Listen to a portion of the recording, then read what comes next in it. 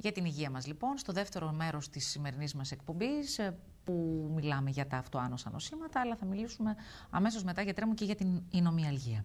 Ε, να συζητήσουμε λίγο για το σύνδρομο Ρεϊνό, για το οποίο γίνεται επίσης πολλής λόγος. Ωραία. Ε, ή για τις εξετασούλες ναι, πρώτα. Πριν, τι, πριν πάμε στο φαινόμενο Ρεϊνό που, που είναι αρκετά συχνό και προβληματίζει πολύ κόσμο, να πούμε λίγο για τις εξετάσεις. Γιατί και αυτό Μας ενδιαφέρει με πολύ. Με τι ιδιαίτερες εξετάσεις που λέμε εμείς, ε, τον ανοσολογικό έλεγχο, ε, μία από τις πιο γνωστές. Που τις τρέμουμε. Ναι, Είναι τα αντιπυρηνικά αντισώματα. Δούμε. Που έχουν κάποια, αυτό που λέμε διαγνωστική αξία. Είναι μια ειδική εξέταση. Αιματολογική έτσι. Ναι, αλλά εμείς θέλουμε ε, και την ευαισθησία. Δηλαδή, τα αντιπυρηνικά αντισώματα ανοιχνεύονται και στην όσο του Χασιμότου που μιλήσαμε mm -hmm. προηγουμένως, στην όσο του Graves που και αυτή είναι αυτοάνωση θηροειδίτιδα, αυτοάνωση πατήτιδα, χολαγκίτιδα, έως και 100% σε αυτό το νόσημα, βλέπετε. Μάλιστα. Ή σε κάποια, ε, στη λήψη κάποιων φαρμάκων. Και θα προσθέσω που δεν το έχουμε γράψει εδώ, ότι σε κάποιες ηλικίες τα αντιπυρηνικά αντισώματα είναι θετικά, χωρίς απαραίτητα να έχει κανείς νόσημα. Σε πάρα πολύ μεγάλες καταγραφέ. Και εκεί τι γίνεται τώρα; Εκεί, δεν, εκεί προφανώς ε, αυτοί οι άνθρωποι το μαθαίνουν γιατί έχουν κάνει εξετάσεις μάλλον χωρίς λόγο. Ναι. Παρ' όλα αυτά Οπότε περνάνε να έχουμε καταγράψει. ναι. Ότι κάτι έχω. Φαίνεται ότι η αξία. Ε, ε, αυτά τα αντισώματα τα μετράει κανείς με τίτλους. Δηλαδή λέμε ναι. ένα προς 80, προς 160. Φαίνεται ότι η ανησυχία αυξάνει όσο αυξάνει ο τίτλος, αλλά όπως είπαμε προηγουμένως, ποτέ δεν πρέπει να ξεχνάμε το κλινικό σύνδρομο. Γιατί σε πολλές καταγραφές έχει φανεί ότι τα, τα αντιπυρηνικά, επειδή μιλούσαμε για το λύκο, το πιο δύσκολο ναι, ενδεχομένως, ναι. είναι θετικά σε ένα 85 με 90%. Υπάρχουν λοιπόν κάποιοι άνθρωποι που έχουν αρνητικά αντισώματα. Δεν μπορούμε να τα ανοιχνεύσουμε τα αντισώματα αυτά. Αλλά έχουν αυτό άνοσο νόσημα. Ή μπορεί να ανήκουν στην κατηγορία που λέγαμε αρχικά στα διαφοροποιητά νοσήματα. Ναι. Τι δεν σημαίνει ότι δεν έχουν νόσημα. Βέβαια ισχύει και το ανάποδο. Δεν σημαίνει ότι για οποιαδήποτε κατάσταση που δεν μπορούμε να την ερμηνεύσουμε και σκεφτόμαστε ένα αυτοάνωσο νόσημα, δεν πρέπει να στέλνουμε αντιπυρηνικά αντισώματα. Ναι. Α αφήσουμε καλύτερα να οριστεί καλά το κλινικό σύνδρομο που έχουμε μπροστά μας και αν έχουμε να κερδίσουμε, δηλαδή αν η πιθανότητα της εξέτασης είναι υπέρ μας, να τη δώσουμε. Αυτό ισχύει για όλες τις εξετάσεις στην ιατρική. Έτσι. Ναι. Δηλαδή, ε, αυτή η κατανάλωση που κάνουμε κάποιες φορές στις εξετάσεις, ίσως για να ικανοποιήσουμε τον εαυτό μας ή και τον άνθρωπο που έχουμε δίπλα μας, δεν σημαίνει ότι μας βγάζει από τη δύσκολη θέση. σω να μας βάζει σε πιο δύσκολη. Όχι. Δεν μας αρέσει αυτό. Ναι, αυτό ίσως θα πρέπει να το τονίσουμε λίγο παραπάνω, να είμαστε αρκετά φιδωλοί σε ποιους δίνουμε αντιπυρηνικά αντισώματα ναι. και τι σκεφτόμαστε. Την άλλη θα γυρίσει κάποιος και θα μου πει, δηλαδή, τι θέλεις, μόνο ο ρευματολόγο να το κάνει. Όχι. Δείξαμε κάποια οργανοειδικά αυτοάνωσα νοσήματα που ξέρουν οι ειδικότητες ότι εγώ σε αυτόν μπορεί να έχω θετικά αντιπυρηνικά αντισώματα. Αλλά ίσως και να μην τα έχει ανάγκη να τα δει θετικά για να πάρει θεραπεία. Δεν τα θεραπεύεις και εξάλλου είναι μια εξέταση που αρχικά γίνεται μία φορά. Ναι. Σπάνια την επαναλαμβάνουμε. Μία φορά θετική, σχεδόν πάντα θετική. Το να ανέβει λίγο, να πέσει κάπως ο τίτλος. Δεν αλλάζει κάτι. Δεν θα αλλάξουμε τη θεραπεία Μάλιστα. ή τη διάγνωση. Και πρέπει να είμαστε λίγο ε, προσεκτικοί. Τα αντισώματα, οι εξετάσεις. Να πούμε ότι έχουμε μία περίοδο οικονομικής κρίσης, πρέπει να είμαστε προσεκτικοί. Εγώ δεν το βλέπω έτσι. Εγώ το βλέπω ότι ιατρικά για να είμαστε σωστοί, πρέπει. πρέπει. να ξέρουμε σε ποιον στέλνεις αντιπυρηνικά αντισώματα, ρευματοειδή παράγοντα ε, ή κάποιες άλλες πιο ειδικές εξετάσεις. Σας είπα και στην αρχή Μάλιστα. μια εξέταση που έχει λοιπόν. αξία σε έναν άνθρωπο που έχει ε, συστηματικό ερυθματόδη λύκο ή και κάποια άλλα συστηματικά νοσήματα όπως οι αγκίτιδες είναι γενική όρων. Αν υπάρχει νεφρική προσβολή, θα τη δεις εκεί. Έτσι. Μπορεί να έχεις αντιπυρηνικά αναπροσύλια 280 να μην έχεις ε, νεφρίτιδα.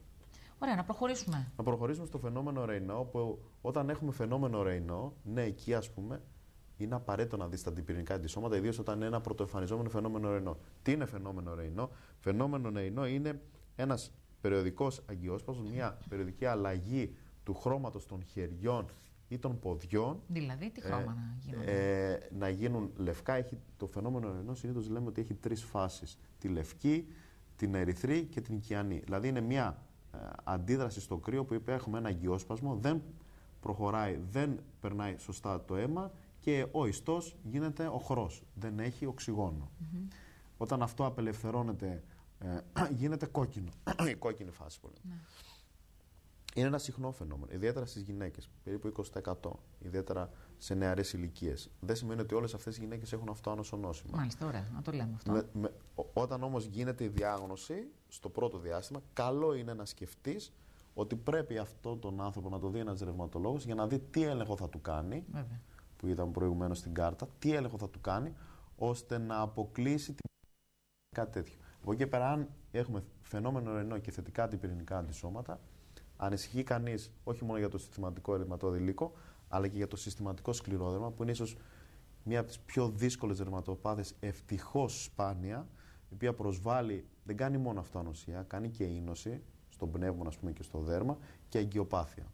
Μάλιστα. Πολλοί άνθρωποι από αυτούς έχουν πνευμονική υπέρταση, δύσπνοια και είναι δυστυχώ ένα νόσημα που δεν έχουμε πάρα πολύ καλές θεραπείες. Έχουμε, αλλά η, η έκβαση Ακόμα είναι, όχι είναι, αρκετά. δύσκολη, είναι δύσκολη. Και ε, το φαινόμενο Ρεϊνό, το πρωτεφανιζόμενο φαινόμενο Ρεϊνό είναι ένα καμπανάκι για να ψάξεις να αποκλείσεις καταρχήν αυτό το νόσημα. Μάλιστα. Ιδιαίτερα σε νέους ανθρώπους. Σπάνιο μεν, αλλά καλό είναι να το, να το έχουμε υπόψη. Να μας. προχωρήσουμε και στο επόμενο. Να προχωρήσουμε. Ναι. το επόμενο κομμάτι, α, εδώ να το δούμε αυτό, να το δούμε αυτή την διαφάνεια. Ε, πολλοί άνθρωποι έχουν ρεϊνό, αλλά δεν έχουν ειδηματώδη δάχτυλα. Τα ειδηματώδη δάχτυλα δυστυχώς είναι ένας παράγοντας που φαίνεται να συνδέεται με πρώιμο σκληρόδωμα. Δηλαδή είναι το πρώτο στάδιο πριν τη σκληροδαχτυλία. Τα ειδηματώ- Δίσκαμπτα, δίσκαμπτες οι αρθρώσεις. Δίσκαμπτες, αλλά φαίνεται να έχει πολύ είδημα εκεί το υποδόριο, Ναι, ναι, ναι, φαίνεται. στο δέρμα. Και Αλλαγή του αυτό χρώματος στη, βλέπουμε. ναι, ναι. Στην, πορεία, στην πορεία αυτό φαίνεται να γίνεται, σκλ- να γίνεται σκληρό μετά, σκληροδακτυλία. Μάλιστα. Σπάνια νόσος, εξαιρετικά σπάνια, αλλά πρέπει να τη σκεφτόμαστε. Υπάρχει Γιατί και για τον άνθρωπο που έχουμε μπροστά μας δεν, δεν έχει σημασία, είναι σπάνιο.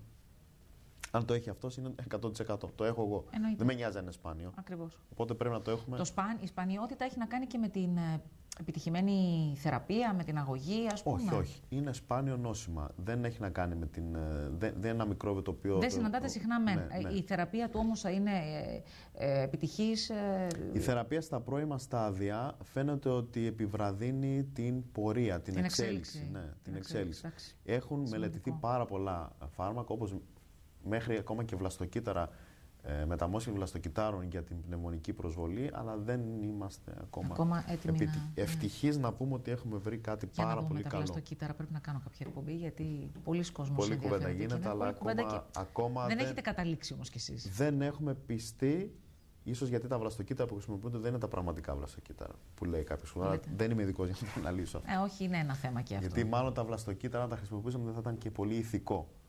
Αλλά Α, νομίζω αυτό είναι εδώ- αλήθεια. εδώ- εδώ- Εκεί μπαίνει άλλο θέμα. Έτσι. Ναι. Και επειδή η Χρειάζεται επιστήμη κάτι πιο ιατρική έχει να ειδικό. κάνει και με την ηθική, Ακριβώς. ε, νομίζω ότι. Γι' αυτό και έχει ατονίσει τα τελευταία χρόνια το να Δεν δίνουμε ακούγεται βλαστοκύτταρα πολύ, δεν ακούγεται όταν πολύ. γεννιέται ένα μωρό. Γιατί δεν είναι βλαστοκύτταρα. Τέλος πάντων. Η νομιαλγία λοιπόν. Η νομιαλγία, χρόνος πόνος, ε, σύνδρομο χρόνου πόνου πρέπει να το συνδέσουμε με τα ρευματικά νοσήματα γιατί είναι, είναι άλλη μια κατάσταση, ένα σύνδρομο που κάνει πόνο, ε, πόνο όμως χωρίς φλεγμονή. Ναι. Χωρίς φλεγμονή.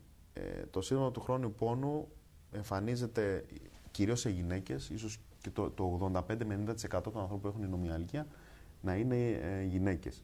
Τι σημαίνει εδώ, τι σημαίνει... Γιατί προτιμάει τις κυρίες; Αυτό δεν έχει βρεθεί, μάλλον έχει να κάνει με τις ορμόνες Μάλιστα. και είναι μία νόσος, μία νόσος η οποία φέρεται να έχει σαν βάση το χαρακτήρα.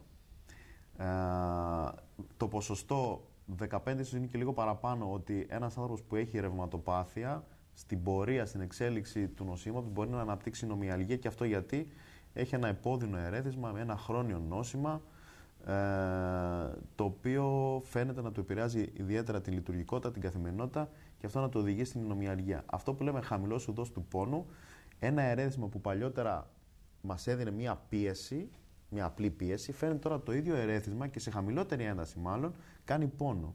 Είναι μια δύσκολη Μάλιστα. διαταραχή. Παλιότερα αυτό το σύνδρομο το έλεγαν και σύνδρομο χρόνια κόπωσης. Ναι. Οι άνθρωποι αυτοί έχουν τρομερή κόπωση, η οποία δεν βελτιώνεται στη διάρκεια της ημέρας. Ο πόνος που εντοπίζεται σε ποια σημεία του Όπως σώματος; θα δούμε στην επόμενη διαφάνεια, ε, ο πόνος αυτός μπορεί να είναι σε πάρα πολλά σημεία, αλλά και να, συνδε... να είναι διάχυτος. Στην κλινική εξέταση υπάρχουν κάποια ειδικά σημεία που θα εξετάσει ο γιατρός και μπορεί να, να ξέρει αν αυτά τα σημεία είναι γύρω στα 18 ε, στο σώμα, μπορούν να, ανταποκ- να ε, έχουν να κάνουν με αυτό το νόσημα.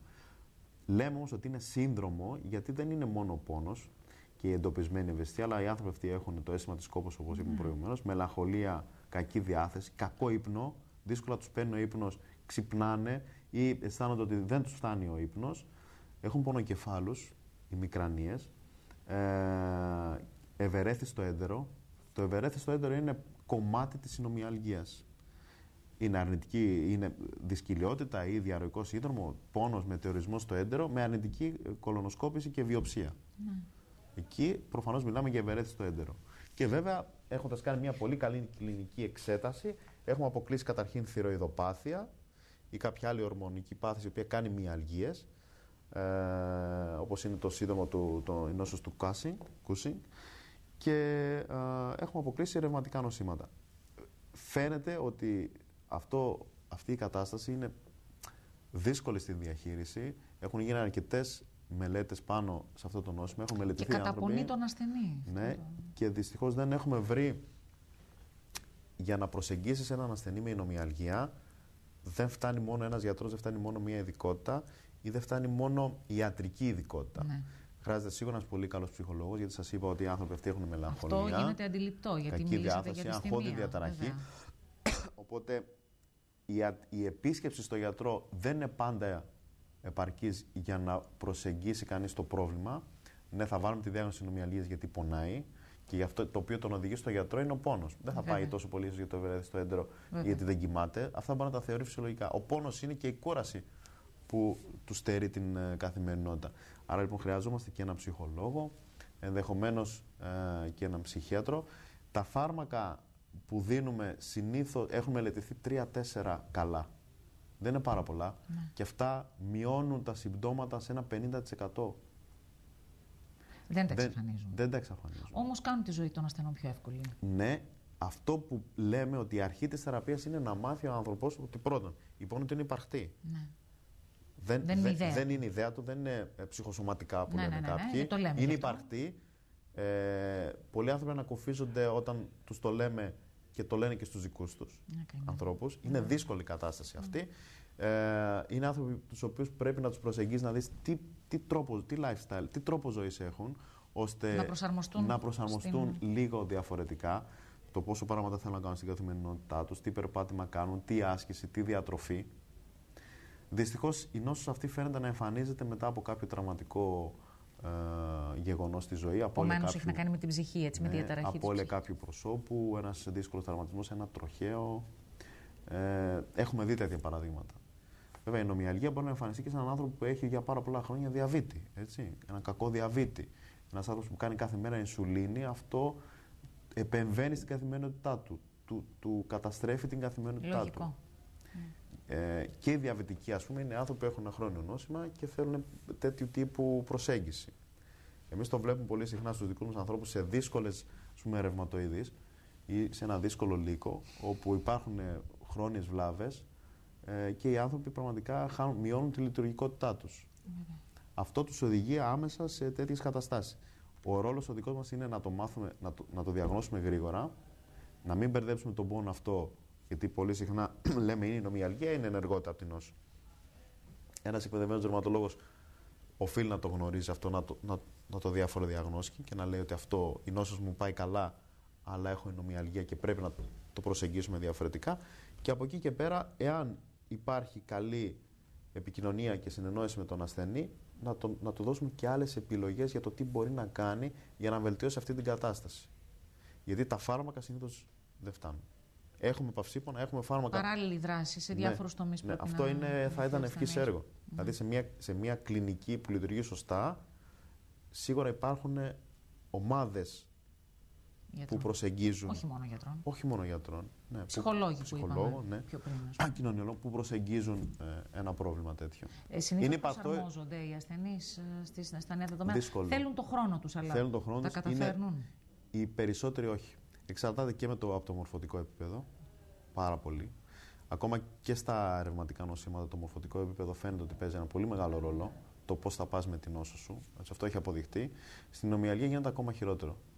Είναι πολύ δύσκολο να καταλάβεις τι είναι η νομιαλγία. Έχουμε βρει ένα όρο, η νομιαλγία, αλλά είναι όπως είδατε κάτι πολύ πιο σύνθετο. Και κάτι το οποίο θέλει πολύ, πολύ μεγαλύτερη έρευνα για να το αντιμετωπίσεις. Φαίνεται ότι υπάρχει μια έξαρση στην εμφάνιση αυτού του συνδρόμου, γιατί η εποχή χαρακτηρίζεται από άγχος, από πίεση, από οικονομική ε, δυσχέρεια, από ανθρώπους που κάνουν δύο και τρεις δουλειές για να τα καταφέρουν, που δεν κοιμούνται Ε, βέβαια, καλά. ε, βέβαια. Και φαίνεται αυτό να έχει μια μικρή έξαρση. Και είναι δυσάρεστο.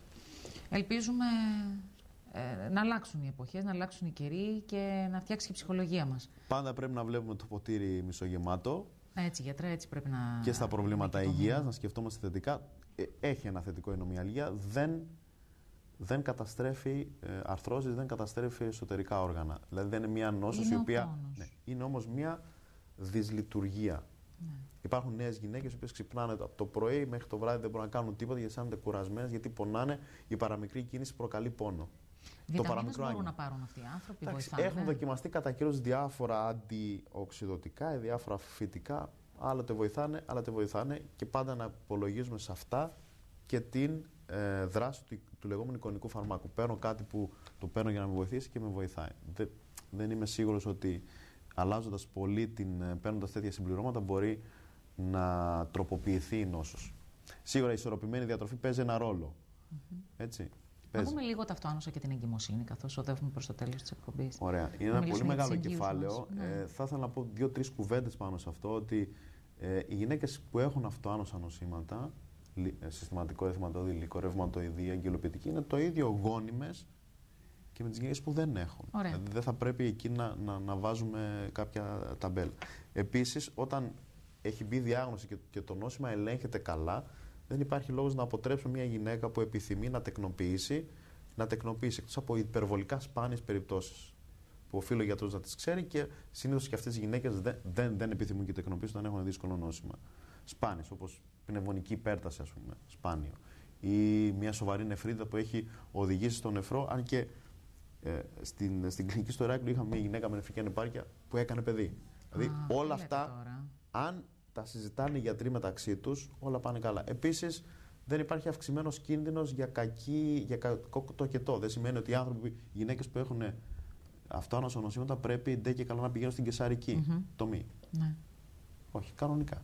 Σίγουρα θέλει μια καλύτερη παρακολούθηση. Αλλάζει η αγωγή στη διάρκεια της εγκυμοσύνης. Υπάρχουν φάρμακα που μπορεί να παίρνει κανείς στην ε, εγκυμοσύνη, όπως είναι η υδροξυχλωροκίνη, το γνωστό πλακενίλ που έλεγα προηγουμένως. Ναι. Αυτό μάλιστα το φάρμακο έχει, έχει φανεί ότι βοηθάει στην ομαλή έκβαση του νοσήματος, τη εγκυμοσύνης με, με ένα τέτοιο νόσημα. Επιτρέπεται και στο θυλασμό, όπως η κορτιζόνη ή η κυκλοσπορίνη. Δεν είναι πολλά, αλλά το σημαντικό είναι να μπορείς να παρακολουθείς τη γυναίκα συχνά στην εγκυμοσύνη, να μην κάνει έξαρση, να ξέρεις τι μπορεί να δώσεις, πάντα να συνεννόηση με τον γυναικολόγο και τι εξετάσεις. Από εκεί πέρα υπάρχει Δεν κινδυνεύει ούτε το μωρό ούτε τίποτα. Δεν στο εμπειράζει. λύκο, στο λύκο υπάρχει ένα σύνδρομο που μπορεί να είναι δευτεροπαθές στο λύκο ή σε κάποιες γυναίκες να είναι πρωτοπαθές. Το λεγόμενο αντιφωσφολιπιδικό, δεν θα κουράσουμε με αυτό. Είναι ένα σύνδρομο το οποίο συνοδεύει, ε, κάνει ε, με ευτικά συμβάματα που λέμε, δηλαδή αποβολές ή εμβρικό θάνατο. Είναι σπάνιο; Είναι σπάνιο. Ωραία, το γνωρίζουν καλά οι γυναικολόγοι. Ίσως να, να, να γίνεται μια. Ε, ε, πώς να το πω, μια υπερβολή στο, στο πότε χορηγούμε α, αντιπικτικά σε μια γυναίκα με, με αποβολή, αλλά στο 20% των καθέξεων που λέμε των επαναλα- επαναλαμβανόμενων αποβολών φαίνεται το 20% να έχουν αυτό το σύνδρομο. Είναι κάποια αντισώματα, γίνονται, κλινική εξέταση που λέγαμε, δεν είναι συχνό, πρέπει να το έχουμε κατά νου. Μάλιστα. Τα φάρμακα που λαμβάνονται μπορεί να οδηγήσουν σε κάποιο καρκίνο; Τα φάρμακα που Γενικά λέτε στα για, για τα αυτοάνωσα. αυτοάνωσα νοσήματα. Και αυτό είναι τεράστιο κεφάλαιο και μεγάλη κουβέντα που έχει γίνει κατά καιρούς.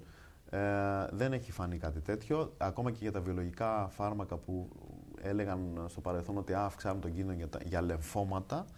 Αυτό που σίγουρα μπορούμε να πούμε ε, καλά είναι ότι η, η ενεργός νόσος είναι αυτή που μας αγχώνει περισσότερο.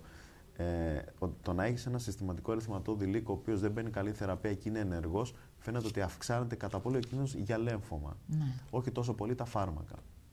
Πάντα λοιπόν βάζουμε στη ζυγαριά και λέμε: Θέλω ένα νόσημα, έχω το στόχο μου. Ο στόχος είναι η ύφεση, δηλαδή να δώσω την καλύτερη θεραπεία, να κατεβάσω την ενεργότητα όσο πιο γίνεται κοντά στο μηδέν.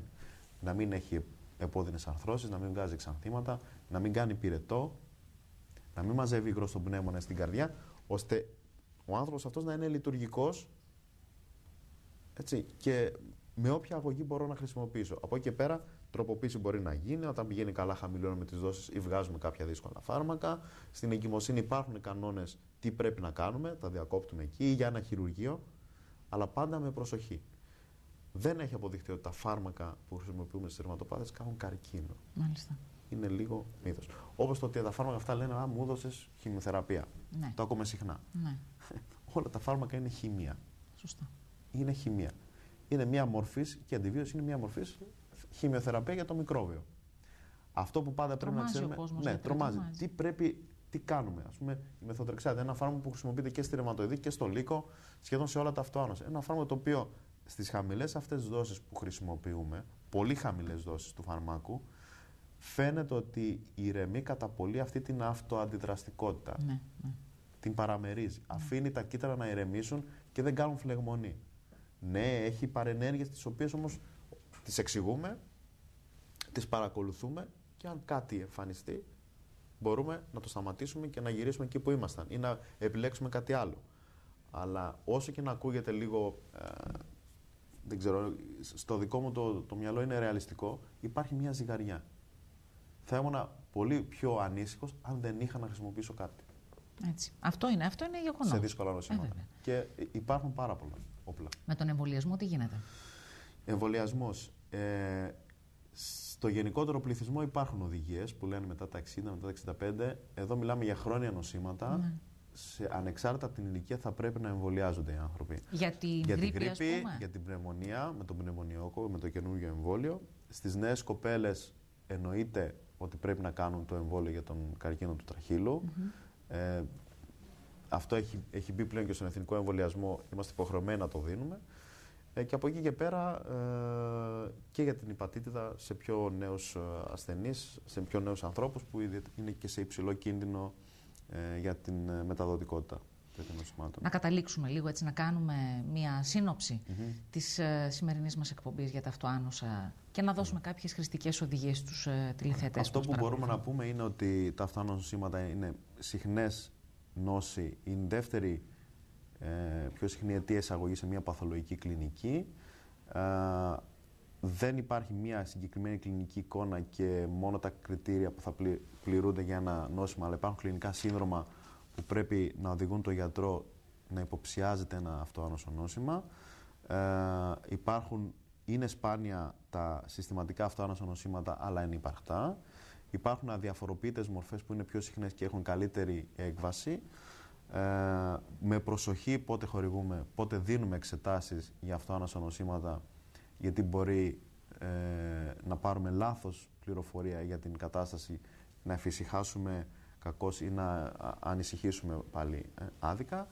Ε, υπάρχουν φάρμακα για τα νοσήματα, υπάρχουν αλγόριθμοι θεραπευτικοί ε, και σίγουρα το μέλλον για τα νοσήματα αυτά είναι πάρα πολύ ε, ευίωνο γιατί ε, υ- υπάρχουν πο, πολλές καινούργιες φαρμακευτικές Έτσι. προσεγγίσεις στην έρευνα, οπότε τα επόμενα χρόνια σίγουρα θα έχουμε και καινούριους παράγοντες βιολογικούς Μακάρι. που θα βοηθήσουν τα νοσήματα. Μακάρι, γιατρέ μου, ευχαριστούμε πάρα πολύ. Να είστε καλά. Νομίζω ότι ενημερωθήκαμε παρκώς για τα αυτοάνωσα. Εδώ είμαστε με εξαιρετικούς επιστήμονες πάντοτε από την τηλεόραση Κίδων. Φίλες και φίλοι, καλό σας απόγευμα.